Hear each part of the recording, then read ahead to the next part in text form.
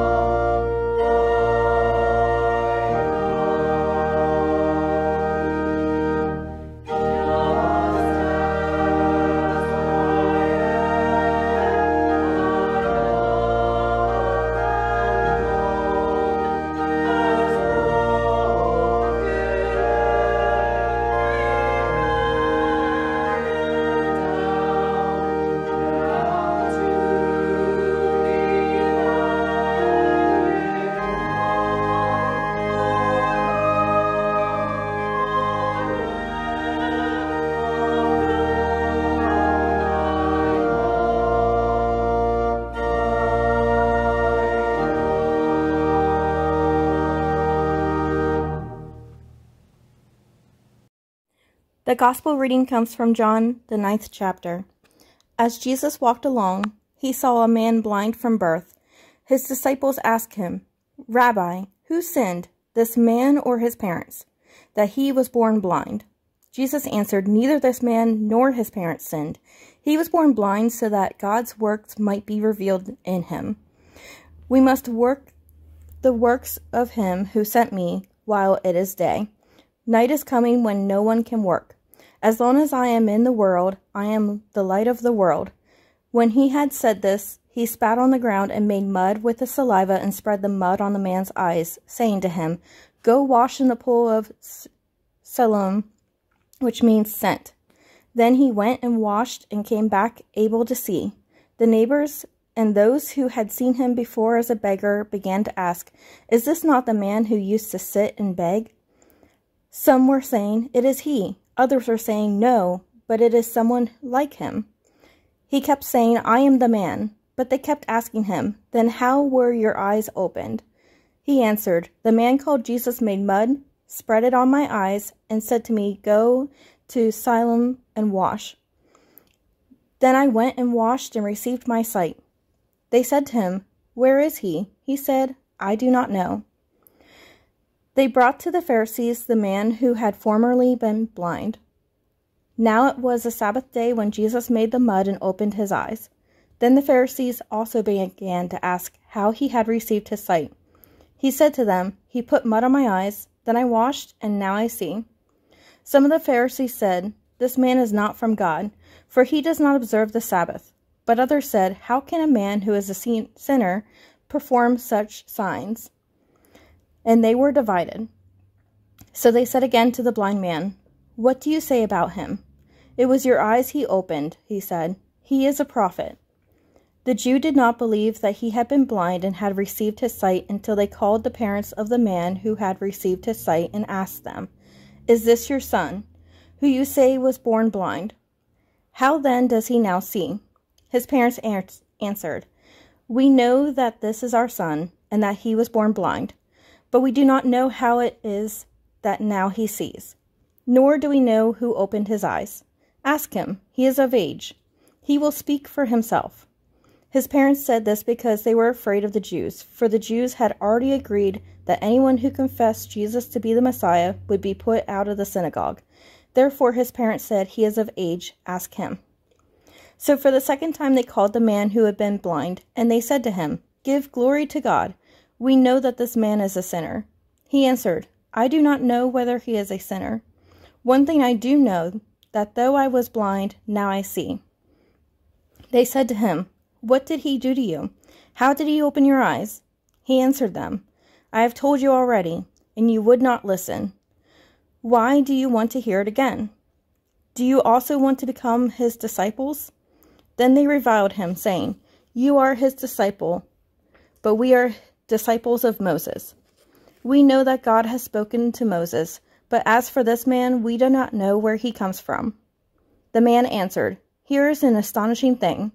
You do not know where he comes from, and yet he opened my eyes.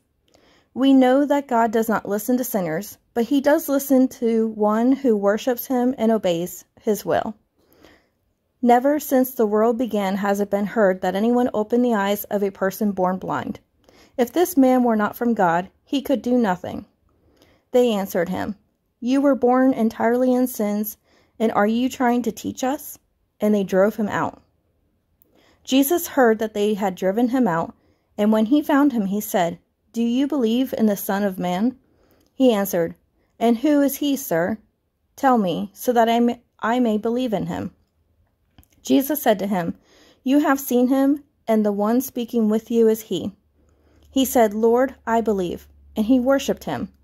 Jesus said, I came into this world for judgment, so that those who do not see may see and those who do not see may become blind. Some of the Pharisees near him heard this and said to him, Surely we are not blind, are we? Jesus said to them, If you were blind, you would not have sin. But now that you say, We see, your sin remains. Word of God, word of life. Thanks be to God. Grace, mercy, and peace be to you from God our Father and our Lord and Savior, Jesus the Christ. A father of three young boys says it's sometimes hard to know who to blame when something happens at the house. And then he tells you his solution. He says, I send all three of them to bed after supper without getting to watch TV or anything else. And then in the morning, I go after the one with the black eye. One day there was a little girl who was riding her bike down the street when suddenly she hit her head on a low-hanging tree limb. And she comes running into the house crying, saying, Mommy, Mommy, Joey hurt me. Her mother looked at her and said, Come on, sissy, Joey didn't hurt you. Joey's not even here. Joey went to the grocery store with his father. And the little girl got the startled look on her face. And then Bewildered, she says, Does that mean things like this can happen on their own at any time? And then she added, Whoa, bummer. Well, it is a bummer. To think that bad things can happen to someone anywhere at any time, and no one may be the blame. In our lesson from the Gospel of John today, Jesus' disciples come across a man who was born blind. And the disciples asked Jesus, Rabbi, who sinned, this man or his parents, that he was born blind? There it is, that question. Who is to blame for this man's misfortune? We think that if we can somehow affix blame, we can make the situation better. We might find some meaning out of it or might even find a solution. That if there's someone to blame, then we can get control of life. We can regain that control. But if there's no one to blame, if these things can just happen, then we don't have control over life, and that can be scary. Jesus' response to the disciples is an intriguing one. He says, Neither this man nor his parents sinned, but he was born blind that God's work might be revealed in him. So, what does that mean? How can an affliction, especially one has devastating, has blindness, actually help to display the work of God? Well, let's take a few moments to examine this text. First of all, we see Christ heals this man born blind.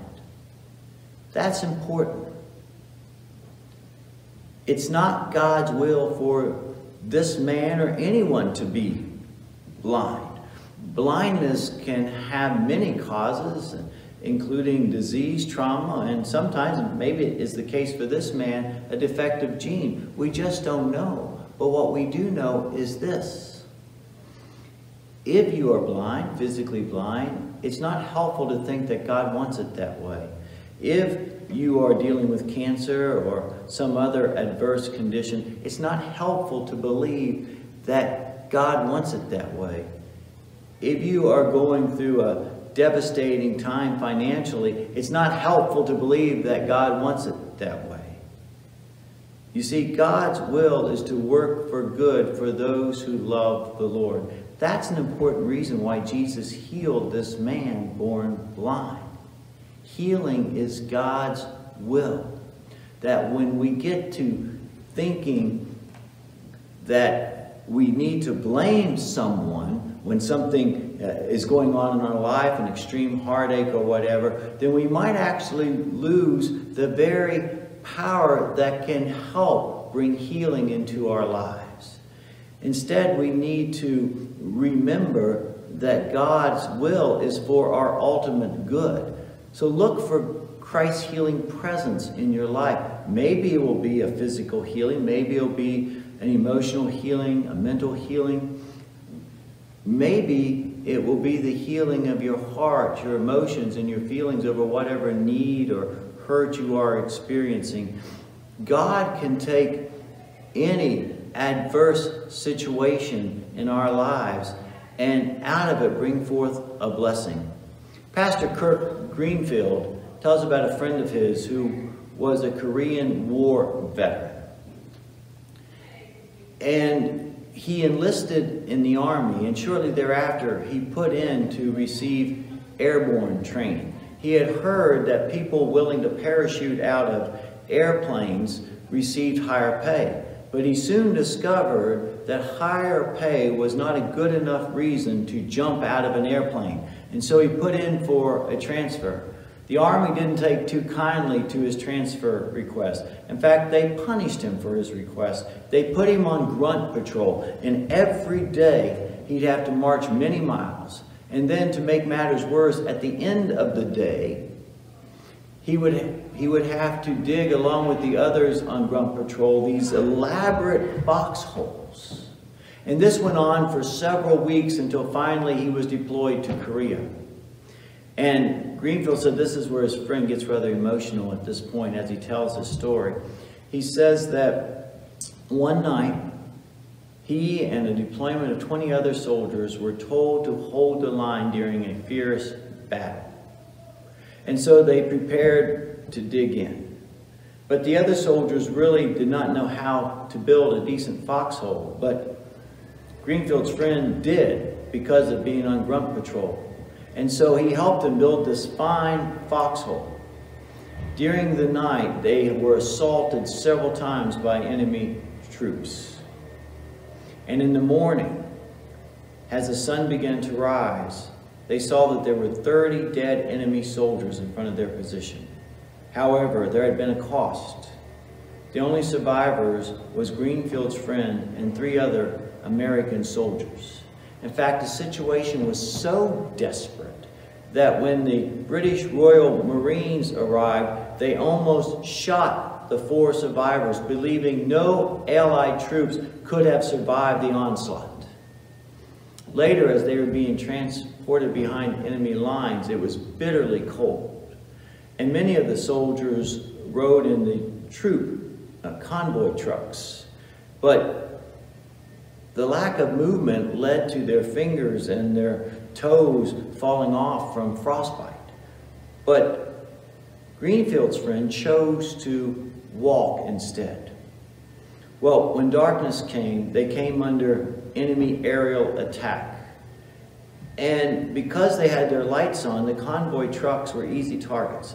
But Greenfield's friend survived because he chose to walk behind the convoy.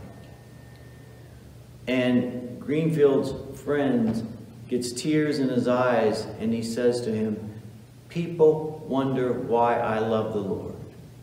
Twice in 24 hours he had almost been killed. But because he knew how to dig a good foxhole and because he had the stamina and the strength to walk rather than ride in a truck, he survived. And both of those abilities came as a result of the punishments he had received while on grunt patrol. In all things, God works for good for those who love the Lord. I know sometimes when we're going through a difficult time, it's hard to remember this, but it's true. God can use any circumstance. When you're going through a difficult time, look and see if there's some way that it may glorify God. Look for some way that it might be helpful to you and to others. Don't let the experience make you bitter, but let it make you better. And that leads to one other point I want to make about this text today.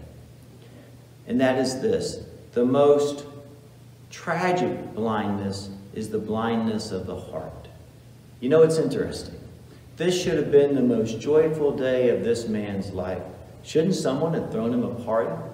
Or his neighbors were not going to do that. In fact, some of them refused to even acknowledge he was the same person they had known before. Why? Because it, it didn't fit into their theology. They had never seen a man born blind to be healed before, and so they refused to accept it. The same is true for the leaders in the synagogue. They tell this man that he will be expelled from the synagogue unless he recants his testimony that Jesus healed him. You see, the neighbors and these leaders both were far blinder than the blind man had ever been because they were blind to what God was doing in their midst. It wasn't that they were bad people, they weren't. It's just that they had locked themselves into seeing life in a certain way and they refused to see the broader picture. You and I need to increase our understanding about life to know that God's perspective is much larger than our own. That instead of seeking to place blame when something bad goes wrong, we should affirm that God's will is for our ultimate good, that all things work for good for those who love the Lord, including whatever adversity you are facing this day. Maybe God will use that experience to make you stronger. Maybe it will help you become more compassionate uh, for others in the midst of their struggles. Maybe it will draw you closer to God. Who knows how God will use your struggles? But just try to understand that God sees the broader picture. And then pray that God would help you see God's hand, God's plan, and most importantly, your part in it. Amen.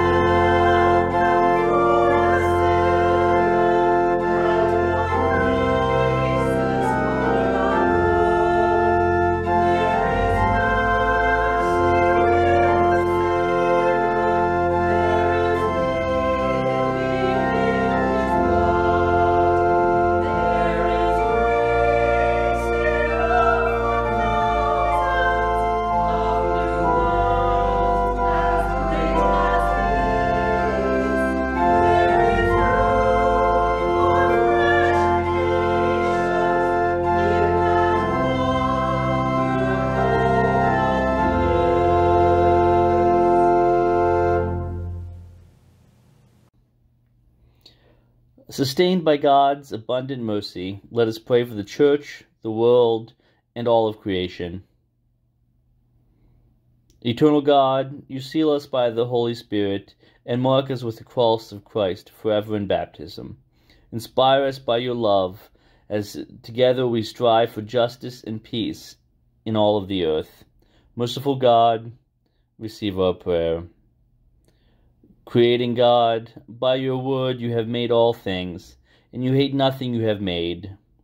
Teach us to perceive the beauty of the breadth of your creation, from the grandest mountain range to the smallest springtime bud. Merciful God, receive our prayer. Powerful God, you anoint kings and establish rulers. Guide the work of heads of state and elected officials Encourage them to lead with justice and to remove barriers that impede the well being of all. Merciful God, receive our prayer. Shepherding God, you lead us beside still waters and restore our souls. Keep watch over those who weep, tend all who are sick, and comfort all those who are grieving. We especially pray for all those on the prayer list of this congregation and all those we hold silently in our hearts. Merciful God, receive our prayer. God, our host, you fill us at your table with more than we could ever ask. Feed us with hunger for justice. Equip the feeding ministry of this congregation and the community. Nourish us so we can nourish our neighbors. Merciful God, receive our prayer. God of history, with thanksgiving, we remember our ancestors in faith who cared for your people. We praise you for the ways they formed the faith of others and continue to inspire us. Merciful God, receive our prayer. We lift our prayers to you, O God, trusting in your steadfast love and your promise to renew your whole creation through Jesus Christ our Savior. Amen. Gathered into one body by the Holy Spirit, we pray as Jesus taught us.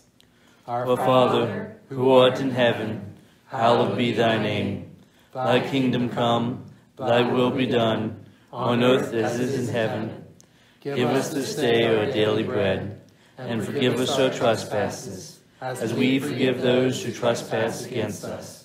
And lead us not into temptation, but deliver us from evil. For thine is the kingdom, and the power, and the glory, forever and ever.